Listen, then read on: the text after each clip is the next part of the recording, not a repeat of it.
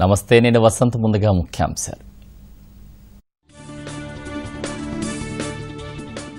ఈ సాయంత్రం పార్లమెంట్ ఎన్నికలకు సమర సంఘం పూరించనున్న గులాబీ అధినేత కేసీఆర్ కరీంనగర్లో కేసీఆర్ బహిరంగ సభకు భారీ ఏర్పాట్లు.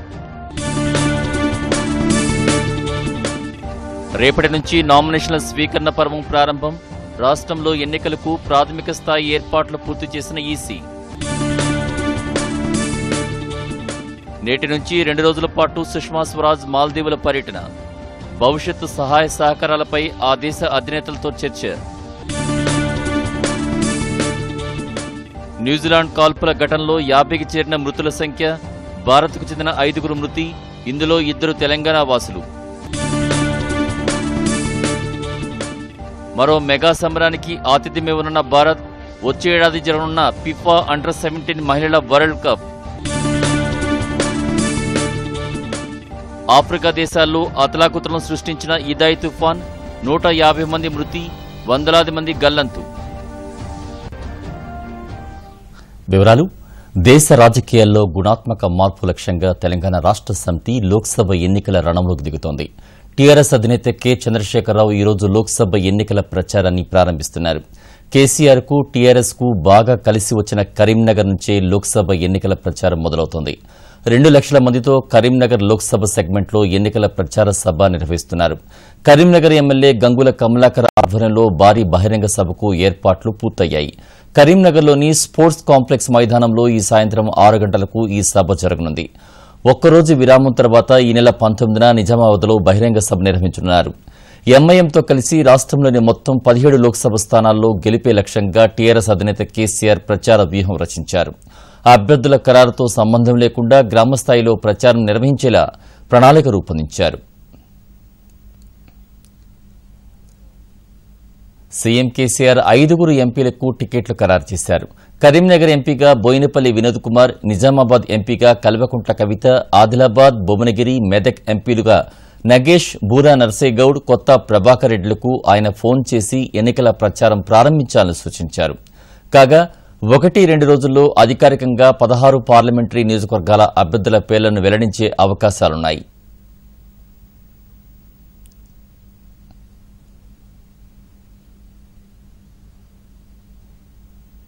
కాంగ్రెస్ నుంచి ఎమ్మెల్యేల ఫిరాయింపులను ముఖ్యమంత్రి చంద్రశేఖరరావు ప్రోత్సహిస్తున్నారని శాసనసభలో కాంగ్రెస్ పక్ష నేత బట్టి విక్రమార్క్ విమర్శించారు.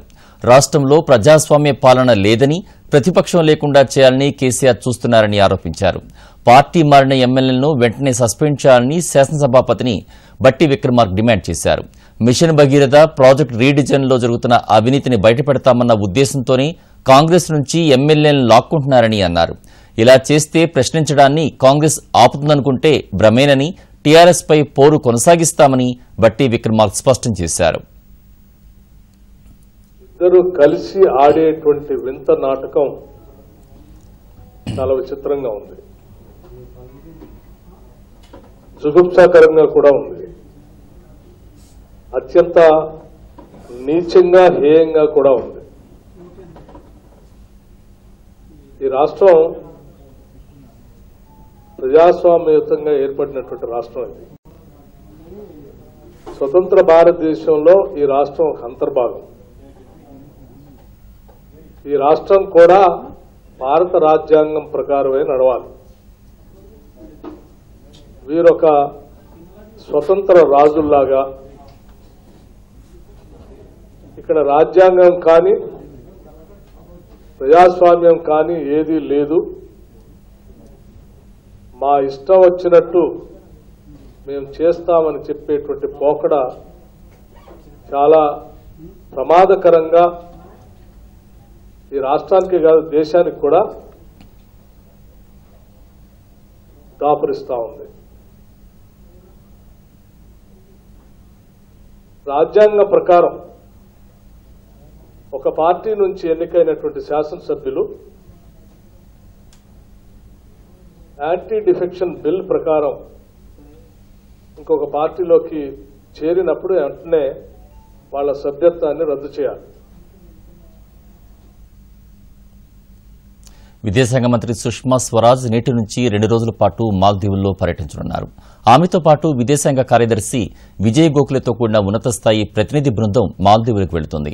ఈ పర్యటన సందర్భంగా మంత్రి మాల్దీవుల అధ్యక్షుడు ఇబ్రహీం మహమ్మద్ సొలీహ్ పార్లమెంటు స్పీకర్ కాసిం ఇబ్రహీం మాల్దీవుల విదేశాంగ మంత్రి అబ్దుల్లా షాహిద్ను కలుసుకుంటారు.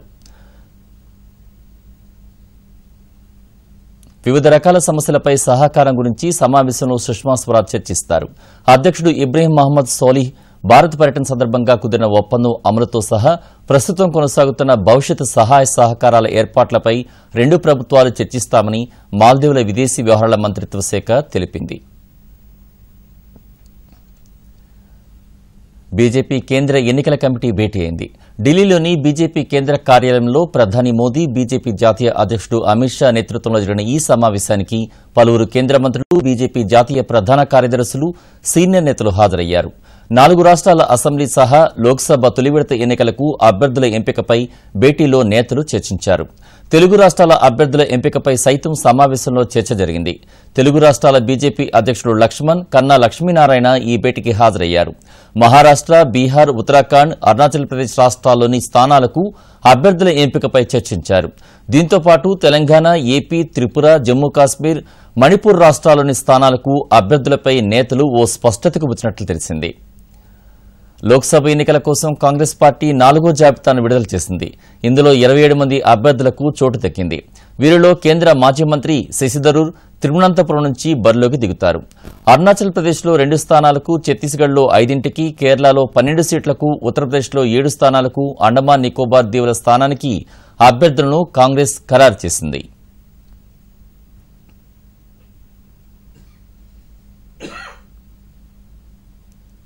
ఇప్పుడు సంక్షిప్త వార్తా సమాహారం ర్యాపిడ్ న్యూస్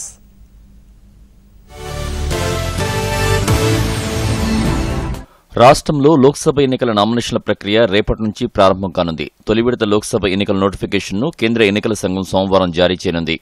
ఈ నెల పద్దెనిమిది నుంచి ఇరవై ఐదు వరకు నామినేషన్లను స్వీకరించనున్నారు.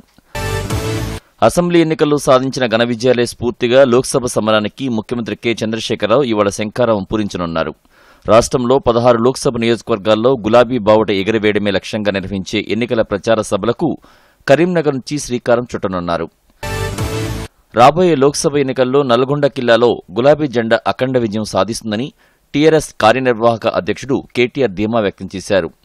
ఇటీవలి అసెంబ్లీ ఎన్నికల్లో నల్గొండ కిల్లా మీద గులాబీ జెండా ఎగరవేశామని అదే స్ఫూర్తితో టీఆర్ఎస్ కార్యకర్తలు నాయకుల అకుంఠిత దీక్షతో నల్గొండ పార్లమెంటు స్థానాన్ని సైతం మూడు లక్షలకు పైగా మెజార్టీతో గెలుచుకుంటామని విశ్వాసం వ్యక్తం చేశారు. టీఆర్ఎస్ లోక్సభ అభ్యర్థుల ప్రక్రియ తుది దశకు చేరింది. అభ్యర్థుల ప్రకటనను టీఆర్ఎస్ వ్యూహాత్మకంగా జాప్యం చేస్తోంది. ఆయా నియోజకవర్గాల్లోని రాజకీయ సామాజిక సమీకరణలను పరిగణలోకి తీసుకుని కాంగ్రెస్ అభ్యర్థులు ఎవరనే అంచనాతో జాబితా రూపొందిస్తోంది. బీజేపీ కేంద్ర ఎన్నికల కమిటీ భేటీ అయింది. ఢిల్లీలోని బీజేపీ కేంద్ర కార్యాలయంలో ప్రధాని మోదీ బీజేపీ జాతీయ అధ్యక్షుడు అమిత్ షా నేతృత్వంలో జరుగుతున్న ఈ సమావేశానికి పలువురు కేంద్ర మంత్రులు బీజేపీ జాతీయ ప్రధాన కార్యదర్శులు సీనియర్ నేతలు హాజరయ్యారు. నాలుగు రాష్ట్రాల అసెంబ్లీ సహా లోక్సభ తొలి విడత ఎన్నికలకు అభ్యర్థుల ఎంపికపై భేటీలో నేతలు చర్చించారు. లోక్సభ ఎన్నికల కోసం కాంగ్రెస్ పార్టీ శనివారం నాలుగో జాబితాను విడుదల చేసింది. ఇందులో ఇరవై ఏడు మంది అభ్యర్థులకు చోటు దక్కింది. వీరిలో కేంద్ర మాజీ మంత్రి శశిధరూర్ తిరువనంతపురం నుంచి బరిలో దిగుతారు. అరుణాచల్ ప్రదేశ్లో రెండు స్థానాలకు ఛత్తీస్గఢ్లో ఐదింటికి కేరళలో పన్నెండు సీట్లకు ఉత్తరప్రదేశ్లో ఏడు స్థానాలకు అండమాన్ నికోబార్ దీవుల స్థానానికి అభ్యర్థులను ఖరారు చేసింది. రాష్ట్రంలో ఓటు హక్కు కోసం కొత్తగా మూడు లక్షల ముప్పై ఎనిమిది వేల ఏడు వందల ఇరవై ఆరు దరఖాస్తులు వచ్చినట్లు రాష్ట్ర ఎన్నికల ప్రధానాధికారి రజత్ కుమార్ తెలిపారు. ఈ నెల ఇరవై రెండున అనుబంధ జాబితా ప్రకటిస్తామన్నారు. రాష్ట్రంలో మొత్తం ఓటర్లు మూడు కోట్ల వరకు చేరుకోవచ్చన్నారు. ఈ నెల ఇరవై ఎనిమిది నుంచి ఫోటో ఓవర్ స్లిప్లు పంపిణీ చేయనున్నట్లు తెలిపారు. లోక్సభ ఎన్నికల నేపథ్యంలో కేంద్ర ఎన్నికల సంఘం కీలక నిర్ణయం తీసుకుంది. పోలింగ్కు నలభై గంటల్లోపు ఎన్నికల మేనిఫెస్టో ప్రకటించరాదని రాజకీయ పార్టీలకు నిర్దేశించింది. అంతేకాకుండా రాజకీయ పార్టీలు ప్రకటించే మేనిఫెస్టోను కూడా ఎన్నికల నియమావళిలో భాగంగా మార్చింది. న్యూజిలాండ్లోని క్రైస్ట్ చర్చ్ మసీద్ కాల్పుల్లో మృతి చెందిన నలభై తొమ్మిది మందిలో ముగ్గురు భారతీయులు ఉన్నట్లు అక్కడి అధికారులు ధృవీకరించారు. అందులో ఇద్దరు హైదరాబాద్ చెందిన సాఫ్ట్వేర్ ఇంజనీర్ హాసన్ ఫరాజ్ ముప్పై సంవత్సరాలు రెస్టారెంట్ వ్యాపారి మహమ్మద్ ఇమ్రాన్ ఖాన్ నలభై ఏడు సంవత్సరాలుగా మరొకరు కేరళలోని త్రిశూరుకు చెందిన ఇరవైదేళ్ళ మహిళ ఆన్సీ అలీగా గుర్తించారు. ఉగ్రవాద నిర్మించాలన్న చిత్తశుద్ది పాకిస్తాన్కు ఉంటే దావుద్ ఇబ్రహీం సయీద్ సలావుద్దీన్లతో పాటు ఇతర ఉగ్రవాదులను భారత్కు అప్పగించాలని ప్రభుత్వ వర్గాలు పేర్కొన్నాయి. పుల్వామా వంటి ఉగ్రదాడి జరిగిన తర్వాత అంతకు బాధ్యత వహించిన జైషే మహమ్మద్ ఇతర ఉగ్ర సంస్థల నిర్మూలనకు చర్యలు చేపట్టడంలో పాక్ విఫలమైందని ఆరోపించాయి. అమెరికా ఉత్పత్తులను మార్కెట్లోకి అనుమతించే విషయమై భారత్ సరైన ప్రతిపాదనలతో వస్తే ఇప్పటికీ ఆ దేశానికి చర్చల కోసం తలుపులు తెరిచే ఉంటాయని అమెరికా వెల్లడించింది.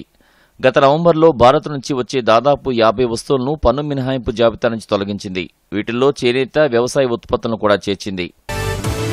ఆఫ్రికా దేశాలైన మొజాంబక్ జింబాబ్వే మలావీలను ఐదాయి తుఫాన్ అతలాకుతలం చేస్తోంది. భారీ వర్షాలకు తోడు ఎగువ ప్రాంతాల నుంచి వరదలు ఒక్కసారిగా పోటెత్తడంతో ఈ మూడు దేశాల్లో నూట యాభై మంది ప్రాణాలు కోల్పోయారు.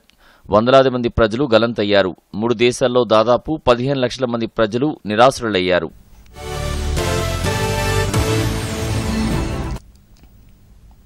మహిళల భద్రతపై అవగాహన కల్పిస్తూ హైదరాబాద్లో షీ టీమ్స్ ఆధ్వర్యంలో రన్ నిర్వహించారు. ఈ కార్యక్రమానికి గవర్నర్ నరసింహన్ హాజరై పరుగును ప్రారంభించారు. Ten K five K two K విభాగంలో నిర్వహించిన ఈ రన్లో యువత పెద్ద ఎత్తున పాల్గొన్నారు. నెక్లెస్ రోడ్ ఎన్టీఆర్ ఘాట్ రహదారి మీదుగా పరుగు కొనసాగింది. ప్రభుత్వ ప్రధాన కార్యదర్శి SK Joshi DGP Mahender Reddy CP Anjani Kumar GHMC commissioner Dana Kishore cine నటులు పూజా హెగ్డే నిహారికతో పాటు క్రీడాకారిణి సైనా జైస్వాల్తో పాటు పలువురు ఇందులో పాల్గొన్నారు.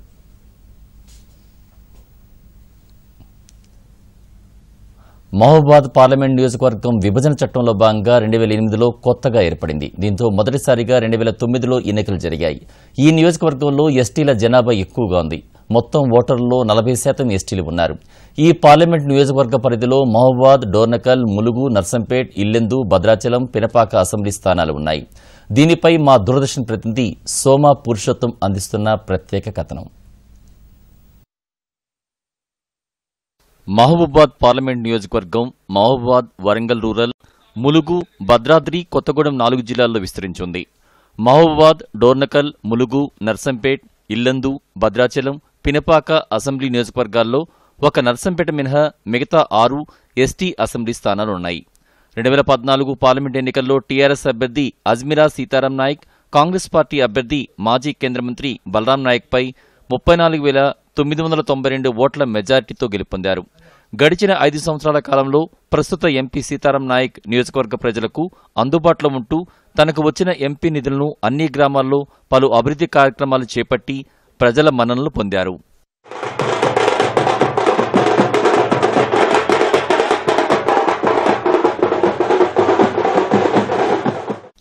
ఈ ఎన్నికల్లో కాంగ్రెస్ పార్టీ నుండి మాజీ కేంద్ర మంత్రి బలరాం నాయక్ టీఆర్ఎస్ పార్టీ నుండి సిట్టింగ్ ఎంపీ సీతారాం నాయక్కు మహబూబాద్ మాజీ ఎమ్మెల్యే కవిత బీజేపీ నుండి జాటోత్ హుస్సేన్ నాయక్ పేర్లు ప్రముఖంగా వినిపిస్తున్నాయి. ఈ మూడు పార్టీల మధ్య పోటీ హోరాహోరీగా ఉంటుంది.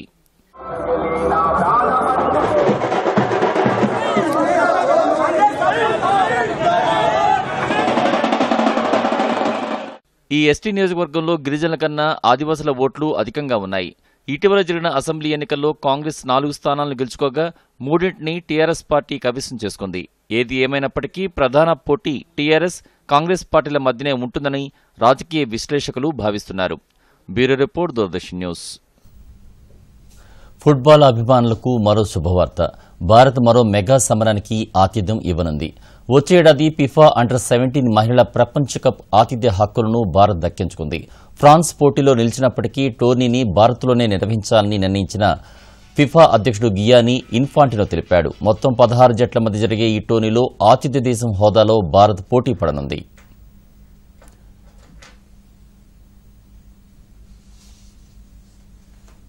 రాష్ట్రంలో పెరుగుతున్న ఉష్ణోగ్రతలతో ప్రజలు ఉక్కిరిబిక్కిరవుతున్నారు. హైదరాబాద్లో నిన్న శనివారం ముప్పై ఏడు పాయింట్ రెండు డిగ్రీల గరిష్ట ఉష్ణోగ్రత నమోదైంది. రాత్రిపూట ఇరవై మూడు ఇరవై నాలుగు డిగ్రీల ఉష్ణోగ్రతలు నమోదవుతున్నాయి. మార్చి చివరి వారానికి ఉష్ణోగ్రతలు నలభై డిగ్రీలు చేరే అవకాశాలున్నాయని వాతావరణ శాఖ వెల్లడించింది.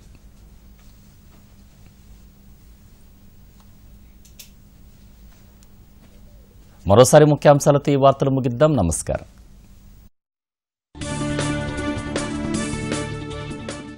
ఈ సాయంత్రం పార్లమెంట్ ఎన్నికలకు సమర సంఘం పూరించనున్న గులాబీ అధినేత కేసీఆర్. కరీంనగర్లో కేసీఆర్ బహిరంగ సభకు భారీ ఏర్పాట్లు. రేపటి నుంచి నామినేషన్ల స్వీకరణ పర్వం ప్రారంభం. రాష్ట్రంలో ఎన్నికలకు ప్రాథమిక స్థాయి ఏర్పాట్లు పూర్తి చేసిన ఈసీ.